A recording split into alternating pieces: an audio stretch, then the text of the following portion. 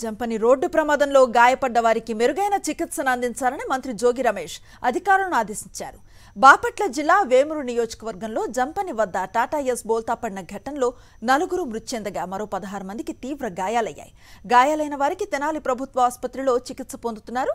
వీరిని CM YS Jagan ఆదేశాలతో మంత్రి పరామర్శించారు. మృతి చెందిన నలుగురికి ఐదు లక్షలు గాయపడ్డ వారికి యాభై వేలు ఆర్థిక సాయాన్ని అందిస్తామన్నారు మంత్రి జోగి రమేష్. దురదృష్టకరమైన సంఘటన.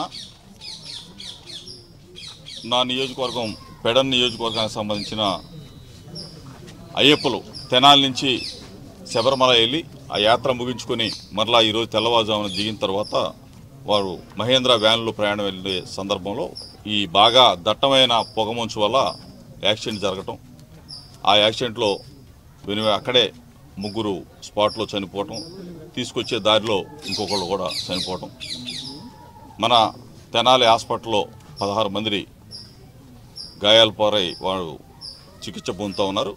ముగ్గురికి కొంచెం సీరియస్గా ఉంటే గుంటూరు జీజీహెచ్ కూడా తరలించగలిగింది ఈ వార్త తెలిసిన వెంటనే ఇప్పుడే వస్తా వస్తానే డైరెక్ట్గా గౌరవ ముఖ్యమంత్రి జగన్మోహన్ రెడ్డి గారికి చే- తెలియగానే వెను వెంటనే ఆయన దిగ్భ్రాంతిని వ్యక్తపరిచారు. చనిపోయిన కుటుంబానికి ఐదు లక్షల రూపాయలు క్షే గాయాల పాలైన వాళ్ళకి యాభై వేల రూపాయలు ఇచ్చి వెను వెంటనే వాళ్ళకి సరైన వైద్యం అందే విధంగా చూడమని చెప్పేసి స్వయంగా నన్ను ఇక్కడికి పంపించడం కూడా జరిగింది.